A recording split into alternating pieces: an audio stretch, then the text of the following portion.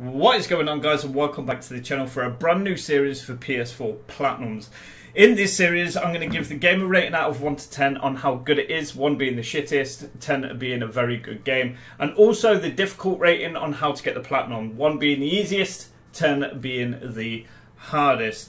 With this series as well we're going to have very short videos but a very long series in time because at the moment in time I am currently turning myself into a trophy whore where I just want to get the maximum amount of trophies off a game per game up until if we can get a platinum. So at the minute of this video going live, I currently have seven platinums. So we'll have seven videos over the next couple of days showcasing all the platinums that I have at the moment.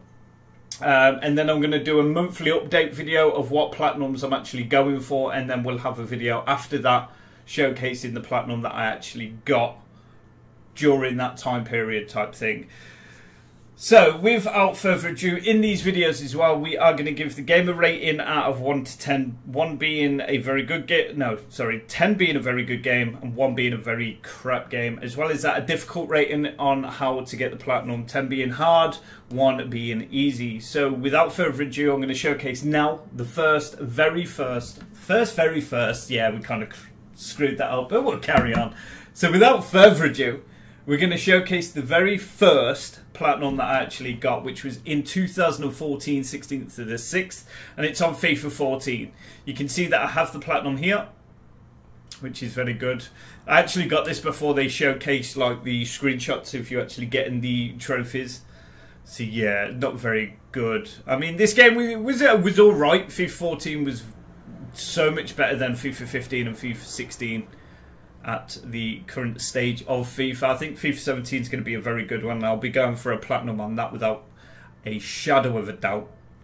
Um, there weren't very hard trophies to get actually in FIFA 14. I mean, the game itself will give a rating of say five because it's FIFA. FIFA 14 was alright. Um, difficulty wise, I mean, it was not too difficult to get. You only had to do certain things like give friends something from the football catalogue, purchase one yourself. You had to do like a seasons thing where you had to win the season, win the trophy in seasons, reach EA Sports Football Club level 15. I mean, everyone who plays FIFA is fucking above that anyway. Redeem certain stuff in the catalogues. You had to win a pro season club game. Um, you had to join one. You had to do stuff like that, a trophy in season, same as in FUT as well.